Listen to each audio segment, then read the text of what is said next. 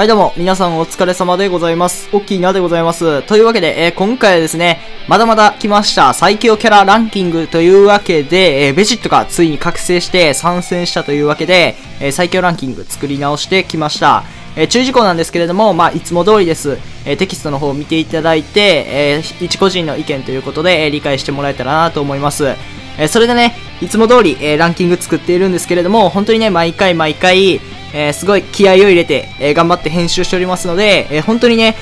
チャンネル登録や高評価ボタンが、えー、僕の励みになっております。いつもコメントしてくださっている方、本当にありがとうございます。というわけでね、えー、ぜひチャンネル登録、高評価ボタンよろしくお願いいたします。それでは、えー、早速紹介していきましょう。はい、というわけで、第10位からやっていきましょう。えー、10位は、なんと、青バーダックでございます。久しぶりにね、ランク10に入ってきたなっていう印象でございますけれども、やっぱり、スーパーベジットの存在が出てきたっていうところで、青バーダックめちゃくちゃ株が上がっております。まあ、知らない人のために説明すると、スーパーサイヤ人のね、えー、ダメージとクリティカルアップを、えー、控えに戻るたびに、えー、こいつが与えてくれるんですよね。それを、えー、あの最強キャラ、本当にね、今回スーパーベジット、もう上位中の上位におります。はい。というわけで、えー、ちょっとネタバレになっちゃうんですけれども、そんなキャラクターをね、超最強の火力に仕立て上げることができる、え、編成を作れるのがこの青バーダックでございますね。しかも、え、別に青バーダック、え、経由役としてだけじゃなくて、バトルの、え、選出機能っていうのもめちゃくちゃね、え、強いでございますね。バトル中盤からドロー速度をつけてくれるんですけれども、こいつめちゃくちゃ火力が高いんですよ。っていうのも、えー、スーパーサイヤ人のね、経由があるっていうことを言ったんですけれども、自分にもね、えー、付与することができるんですよね。バーダック自身がスーパーサイヤ人なので、サイクル中で、えー、効果が付与されている間に2回、えー、出てくると、なんとね、クリティカルが自分にも乗っちゃうんですよね。そういうわけで、えー、めちゃくちゃ強いです。そして、えバトル中盤からドロー速度があって、メインを切ることによってもね、またドロー速度がつきます。そして、え究極の火力めちゃくちゃ高くて、しかもバニシング回復と気力回復を持っているというところで、え切り返しの効くラスワン性能っていうのも高いでございます。というわけで、え第10位、青バーダックでございます。はい、続いて第9位なんですけれども、イエローの富士見貫通っていう風に、え3体のキャラまとめさせていただきました。LF、フリーザー、あと、え黄色のヒット、あとは、ピッコロ大魔王っていうところでね、全員強いんですよ、本当に。っていうのも、えー、全員ね、イエロー属性っていうすごいね、環境に刺さっている属性を持ちつつ、え、未来にぶっ刺さっている、踏ん張り向こうっていうのを持っているんですよね。僕自身が使っていた経験っていうのはないんですけれども、未来パーティーを使っていて本当に相手したくなかった3体なんですよね。というわけでちょっと3体まとめさせていただいたんですけれども、どれが強いというかちょっと、えー、皆さんの意見あったら教えていただきたいです。ちょっとまとめた強さに、えー、してほしくないっていう方がいたら、えー、申し訳ないんですけれども、え今回ね、えそういう3体の、え特徴的なキャラクターがあったので、えまとめさせていただきました。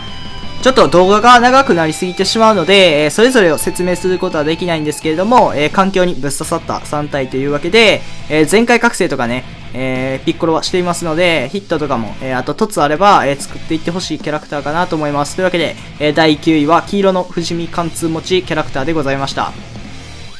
はい、続いては8位、親子ご飯でございます。だいぶね、順位、えー、下げさせていただいてるんですけれども、まあ、前の動画、えー、同様にですね、根血の数が減ったっていうところが一番の理由でございますね。ただ、やっぱり根血ね、当たった時は当たった時で、めちゃくちゃ強いキャラクターっていうか編成でございますね。えー、これから復活ご飯とかも、えー、もっと上の方で出てくるんですけれども、えー、そういったね、キャラクターと、えー、噛み合わせることによって、ライジング受けがとても多い、えー、編成なんですけれども、それプラスね、えしっかりとこの親子ご飯で高い火力を出していけるっていうところで、えエースキャラクターになってるんじゃないかなって思います。というわけで、え簡単ではありますが、第8親子ご飯でございました。はい、というわけで、第7位、カマロゼでございます。ちょっと全然関係ない話なんですけれども、さっきまでね、ちょっとシャカシャカしている音があったら、ちょっと服の生地がね、えー、擦れて音が鳴っていたっていうところで、非常に申し訳ないです。はい、というわけで、えー、気を取り直して、第7位、カマロゼでございますね。こいつも、えー、9位のキャラクター同様なんですけれども、常時踏ん張り貫通を持っているっていうところで、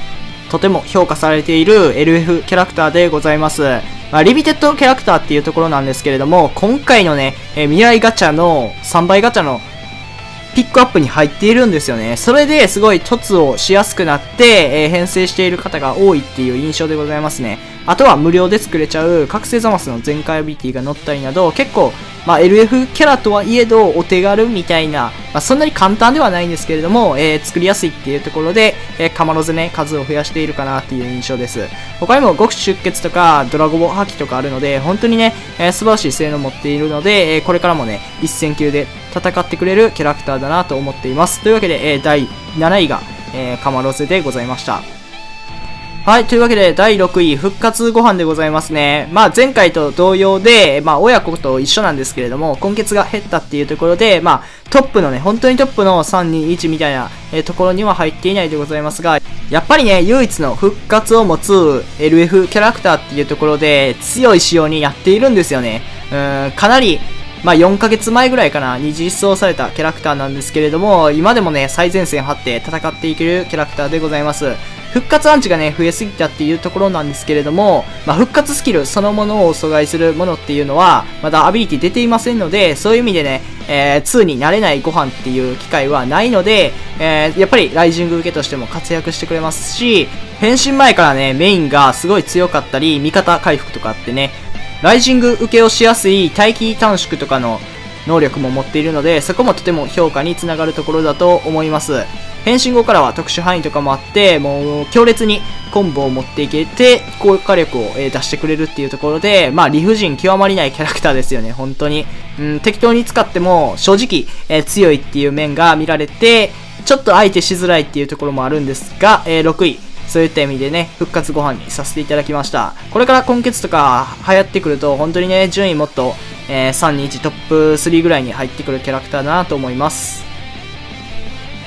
はい、第5位なんですけれども、ゴジータ4でございます。正直、1位の器があると思います。ただ、今はね、紫のキャラクターが強いキャラ多すぎて、紫単体のね、えー、パーティーがあるっていうところで、さすがにそういうところでは強く出せないかなっていうのがあって、えー、5位に落ち着かせていただいたんですけれども、本当にね、書いてある通り、ユニークアビリティがやばすぎるんですよね。アーマーとか、属性振り向こうとか、えー、いろいろあってね、耐久もめちゃくちゃ高いっていうところで、ユニークフラグメントをね、手に入れてからずっと暴れ回っているキャラクターでございます。あとはまあ緑のね、強いキャラクターっていうところで、ホープソードを潰せたり、そういう意味でもね、えー、活躍できるキャラクターでございます。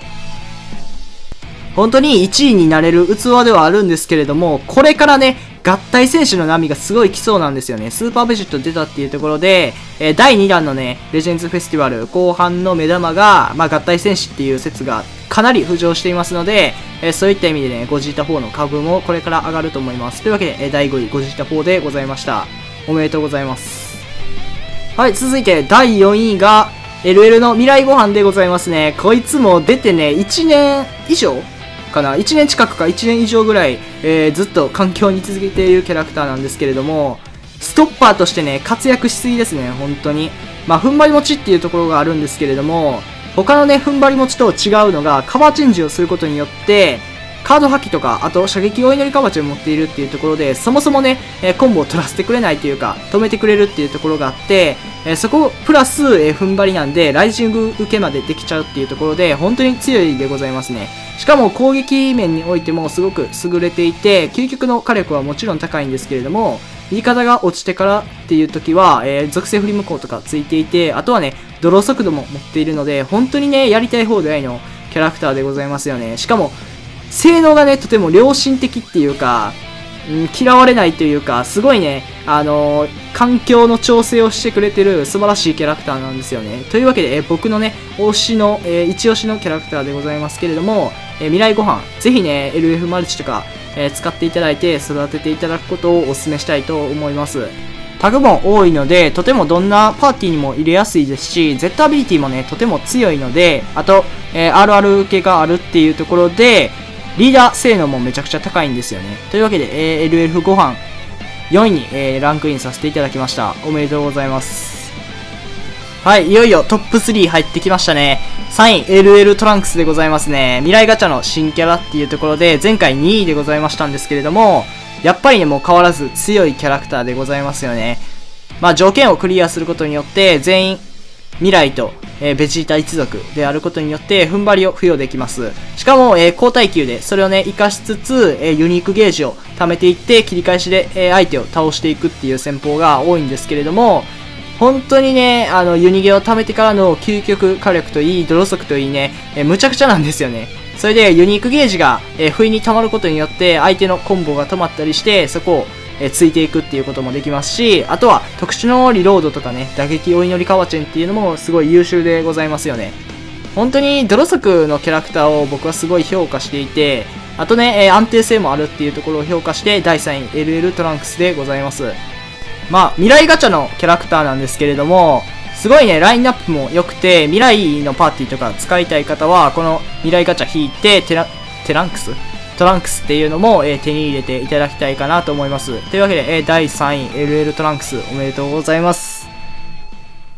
皆さんお待たせいたしました。第2位スーパービジットですね。本当にね、もう1位でも良かったんですけれども、ちょっとね、1位の、えー、解説の時にその理由っていうのを紹介させていただこうと思います。本当にね、皆さん期待していましたよね。レジェンズフェスティバルの生放送で、もうスーパーベジット覚醒って出た時に、本当に僕も、えー、興奮したんですけれども、予想通りのぶっ壊れで来てくれて、本当に嬉しいでございますね。うん、この強さはもうベジットだから許せるみたいなところがあるんですけれども、場に出るだけで、えー、ドロー、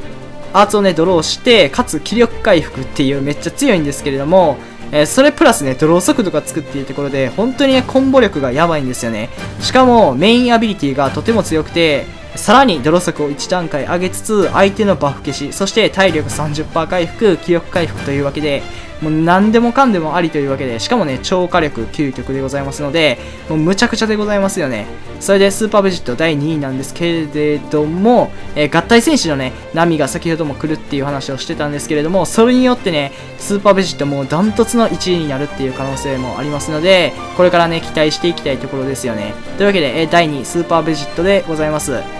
すごいね、無料で、えー、良心的な Z パワーとかも配布されているので、そういうイベントもね、えー、積極的にやっていってほしいなと思います。はい、というわけで、第1位がね、悟空ベジータというわけで、不動でございますね。買えませんでした。っていうのも、もう理不尽に強すぎるんですよね、このキャラクターは本当に。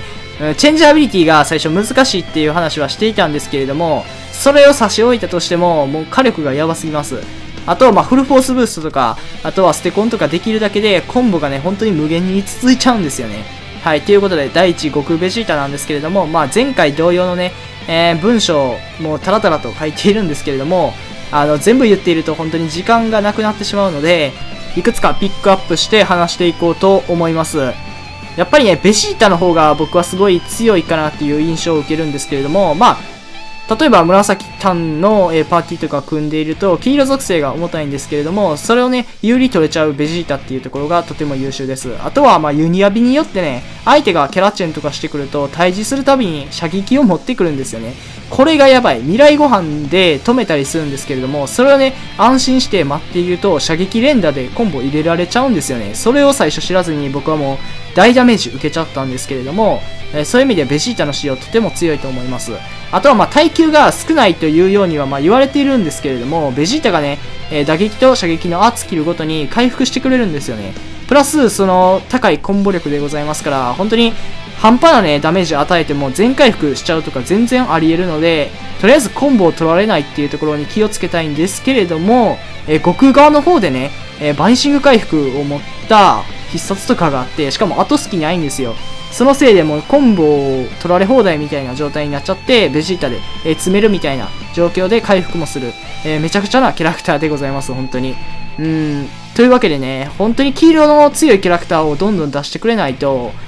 このキャラやばいかもしれないですね。黄色出たとしてもベジータがいるので、もうむちゃくちゃでございますけど、まあ、とりあえず1位、悟空ベジータというわけで、お祈りかわちゃんとかもあって、本当にやばいキャラクターでございます。えー、1位、おめでとうございます。はい、というわけで今回はスーパーベジットが参戦したっていうことで、最強キャラランキング、えー、作っていきました。ぜひね、チャンネル登録、高評価お願いいたします。えー、ランキング外のキャラクターでも強いキャラクターいっぱいいるので、ちょっと前のね、えー、レジェンズフェスティバル前の最強キャラランキングでそちら紹介しておりますので、概要欄から、えー、見ていただくと嬉しいです。というわけで、えー、今回の動画は終わっていこうと思います。最後までご視聴いただきありがとうございました。